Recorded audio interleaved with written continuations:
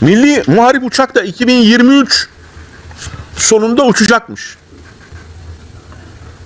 2025'te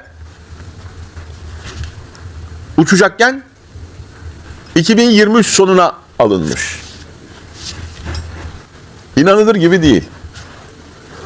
Açık söylüyorum, bilerek söylüyorum, bilgiyle söylüyorum, yalan söylüyorlar. Ha bak, yalan söylüyorlar.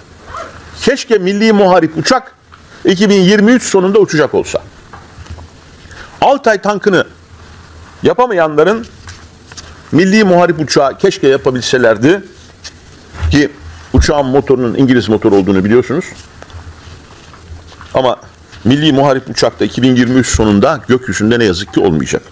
Sadece bu da içinden geçtiğimiz seçim sürecinde bulunan doğalgaz gibi bir e, seçim propaganda yatırımı.